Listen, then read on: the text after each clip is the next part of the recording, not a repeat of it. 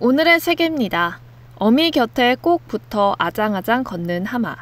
유독 몸집이 작은 이 하마는 체코 동물원에서 태어난 피그미 하마인데요. 우리가 아는 하마의 3분의 1 크기에 불과하답니다. 야생에 사는 개체 수가 약 2,500마리로 멸종 위기종으로 분류됐는데요. 지난해 전 세계 동물원에서 태어난 새끼 수는 12마리뿐.